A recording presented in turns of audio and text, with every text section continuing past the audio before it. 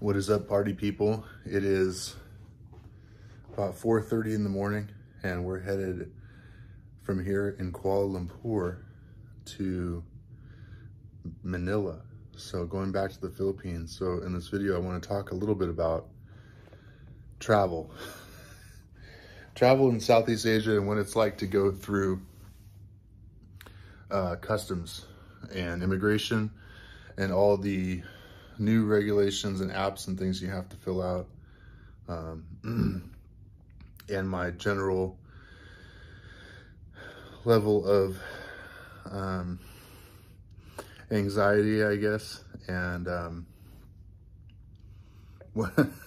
some of the things that have happened throughout the last few days. So basically, guys, um, I got some real world firsthand knowledge of what it's like to go through several countries in in the in the region.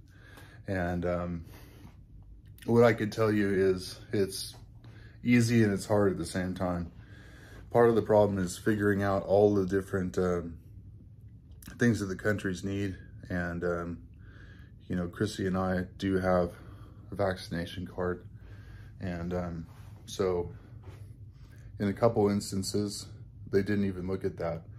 Actually, one instance, I think that was Singapore. They just, they, um, then, no, when I, we got on the flight, they looked at that.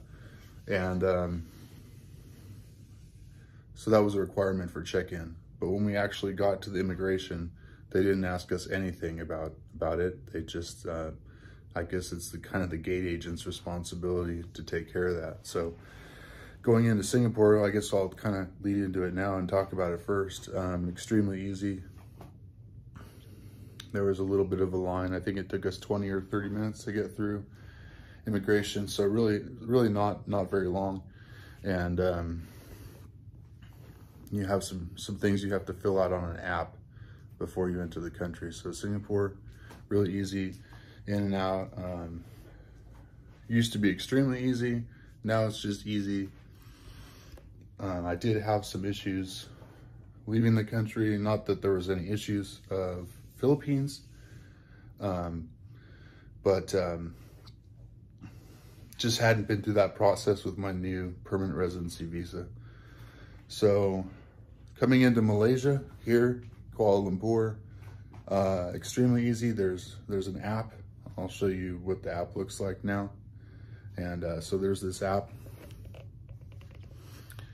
and you fill that thing out and when you get to the um, get to the counter all that information is already in the system.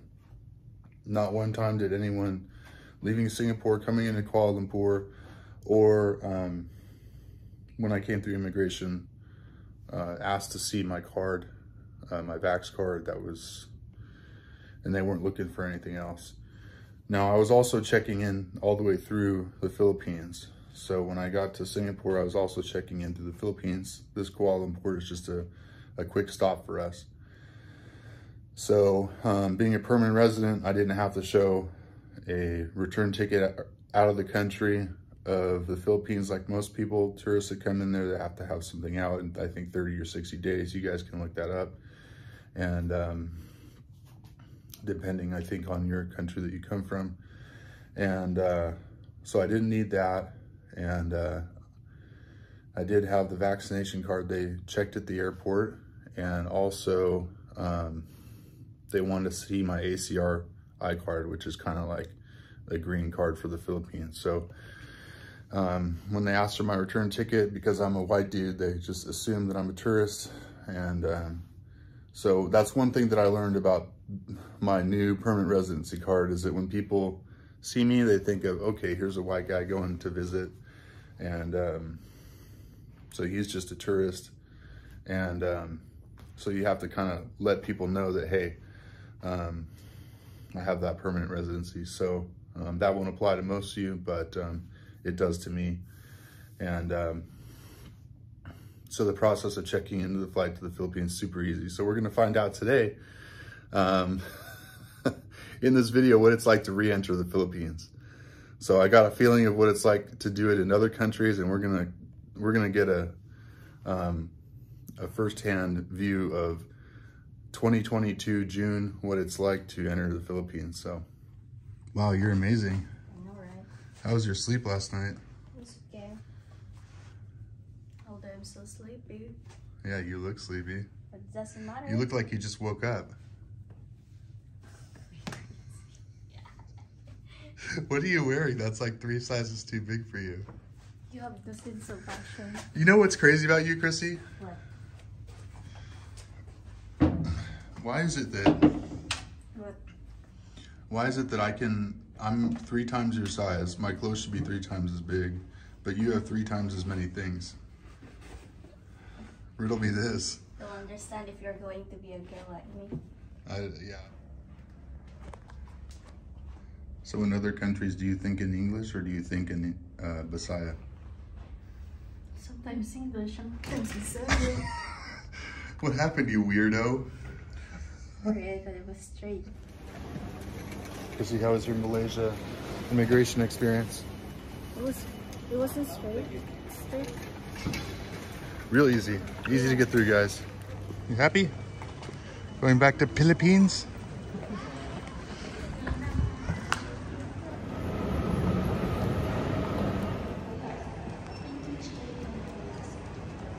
Not sure if these shops are empty for any reason other than it being 4.30 in the morning.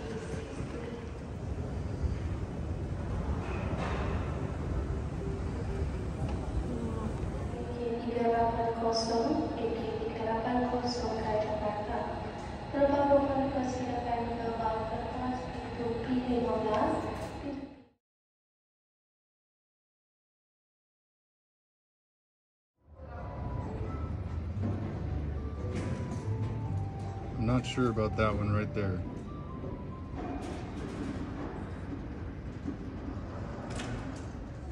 Did you get the durian chocolate? I did not because I have no money. You have no money? What did you get? You're such a consumer. I don't know. It's um dried mango from Singapore, Malaysia. I mean. Yeah?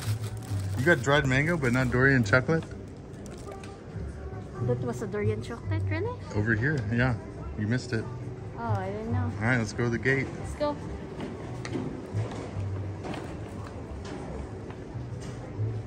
Is that disc?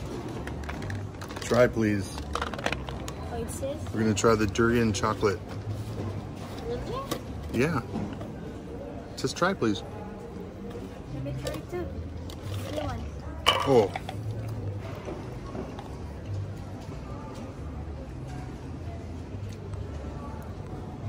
That's a negative. it's like if somebody farted in your mouth, but if but you had a waxy texture. You're going to, you're, you're going to have um bad mouth. Yeah, I'm gonna breathe all over you. No. I've never seen anyone eat a Kit Kat like that. You're definitely a weirdo. Thank you. I think I am. It's not how you eat a Kit Kat. Oh, I just break it. Yeah. Break me off a piece of that Kit Kat bar. Sama sama sama seperti kemarin. Sama sama seperti kemarin.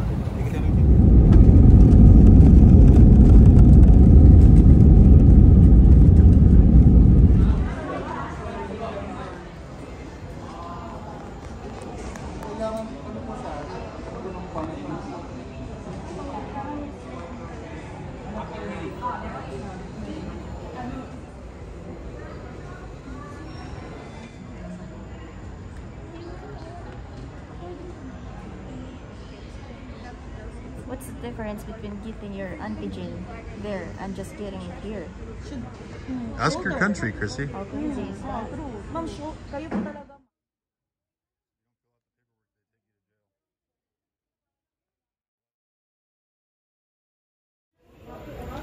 So I was told if I don't sign the paperwork and do the list of demands and find a place, I'll go to immigration jail. So there you go.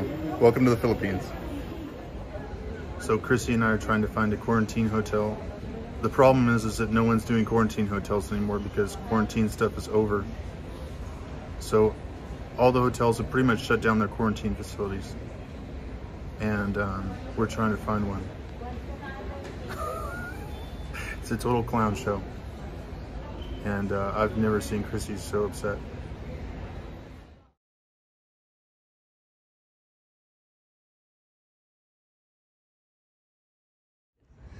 Well, it's, it's good to see Chrissy laughing again. So we met Yeah, two friends in the exact same position that we're in. Yeah. So we're not alone, and we're rejecting the quarantine. so we're doing this. We're in this together. Where? What is your name? Uh, my name is I. Hi. Where do you live? Are you, are you from the Manila area? Yeah, I'm from here. Cool. Uh, we have I and we have Nika. Nika. Now I don't know this. Are you guys friends? We're best friends. Best friends, BFFs. All right. So, oh, really? How long ago was that? A couple years ago? Yeah, 10 years. Oh, 10 years ago. You look so young. Thank you. So, so we're we just saw a group of doctors get stuck and sent to quarantine. So we're not the we're not the only people. Yeah. But where, what what was the problem with with what happened? well, I believe they let them in. As one of the, I don't know. No, no, you guys. What happened? Oh, well, we can be able to, um, can be able to exit the, the immigration today. It's because of our requirements. They've, it's stated that we are failed, we failed to actually complete the requirements. But I'm here, and Chrissy's here, and you guys are here. And I guess what I'm trying to say is, um, we all we all messed up on the the the testing requirement, right? Because it's been said that testing is done. I think, Yeah. Except that we had. Um, um, but you guys don't have a booster, right? No. Yeah, we're not going to the moon. I don't think we need a booster. But the thing is, it's pretty clear in the, you know, the, the in their instructions. Yeah. Yeah, right. The Air Asia just Just fully vaccinated, yeah. If you're fully vaccinated, Fully you don't vaccinated, need to worry yeah. about, you know, you don't need to worry about, Which usually fully vaccinated means you've had your two shots, which all of us have. Yeah, exactly. So they're still holding us, and right now we're in a holding pattern because we're we're saying that the airline didn't. They failed because there was like how many checks did they check our documents before we got on the plane? Um, I, I, I, forgot. You know, Like three times, right? three times. Yeah, Yeah, three times. pass. Like once, everywhere you went, it's like they wanted to see your documents, and then we made it all the way here, and then all of a sudden there's a problem as we got in line. So thank you guys for sharing and uh, making it me really bad. Bad. make me feel like not so much of an idiot. But eh, what what country did you guys go to? And it was pretty easy, wasn't it? Where you guys No, went? Singapore. Yeah, Singapore. It's like walk from- right in. And then Kuala Lumpur. I don't even think in Singapore they even looked at my my vaccination. They just No, they did not. I think their laws are so strict that if they find out that you broke the law, you're probably going to be in a world of hurt. But anyway, thanks, and we're going to find out what happens to all of us. now they stuck us in this room. Our flight's not for another. Oh, our flight's at 11 p.m. It's now 16, 14, 4 p.m. Have to wait eight hours in here in this room. Fantastic. And the flight costs. On top of the time, our flight was 15,000 pesos to go back. But Chrissy has to get back to her classes, so we don't really have a choice.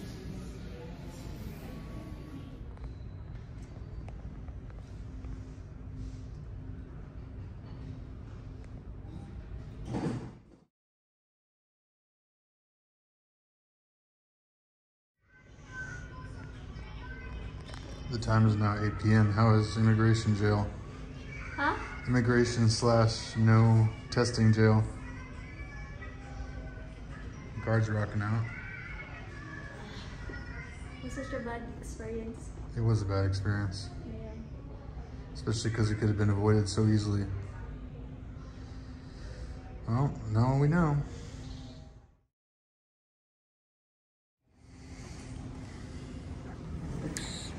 Ako ka na din na.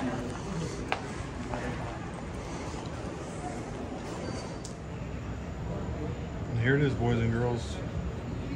Our flight back to Kuala Lumpur.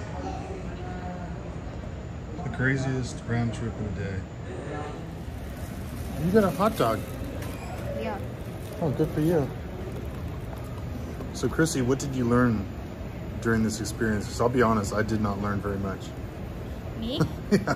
I did not learn anything. the easy lesson It would be to just made me say, frustrated. yeah, it was a lesson in frustration. It is more frustrating in the Philippines. Yeah, it's not more fun in the Philippines. It's more frustrated in the Philippines. So, yes, you It's could a- draw. It's so crazy how how they how that guard ca- followed us here. It it made it made us look like we're some sort of like criminal. Where they're treating us like deportees. What's that? Like when you get deported from a country. This is really such um. This experience is really. I hate this experience. So, the easy thing to say is, uh, okay, you should have followed the rules better or whatever. But and you can make a case for that, but online it's like, Yeah. oh, fully vaccinated. You get a message from the embassy. Now, fully vaccinated people can enter, all that kind of stuff. So, I It- just, it just- nobody has the booster where we are. Nobody has it. So, it's like not a thing. So, I don't really think about it. Nobody has it. It's not really offered to anybody. So, unless you're like an older person, so it's not really a thing in our area. We didn't really think about it. And, um, all that we heard is, hey, we're, they're dropping the testing requirement. They're dropping, okay, they're dropping the testing requirement. Plus, I was coordinating for some people that don't normally travel. So I was kind of swamped thinking about everyone else's needs. And we went to three, three countries we had to deal with, right? And it was also our first time leaving the Philippines in a while. I've never left on this visa, never come back on this visa. Chrissy's never traveled. So a lot of moving parts. Normally I'm used to having to just take care of myself. So that kind of distracted me. Anyway, if the gate agent or the three people that checked us or the four people that checked our paperwork would have stopped us, we could have easily solved this problem by getting tested at the airport. It's not that hard. But I, I don't I don't really feel like it was a poorly planned operation. Just you hear buzzwords like um, fully vaccinated can travel, no test, all that kind of stuff, and you got to look at the fine print. So, unfortunately, we would have just stayed, but Chrissy's kind of under the. What? You got to get going back to your classes. Yeah. So we got to go back, get the test, come right back. So it's a very expensive, uh, a very expensive day, week, and hopefully everyone will watch the advertisements on these videos because we basically, uh, yeah, we spent way too much money.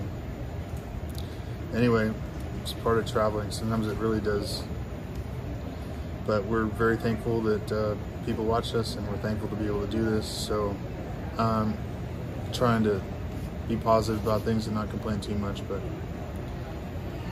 philippines is- chasing tourists away that's that's basically what it is i mean we were not the only person people in this predicament most people opted for the five um, Five day quarantine. five day quarantine, but um, there were quite a few people, to include medical doctors that were in the line Yeah. that didn't have this thing. So, anyway, from uh, Manila on our way back to Kuala Lumpur, we're going to try and make an adventure out of it. Thanks for watching.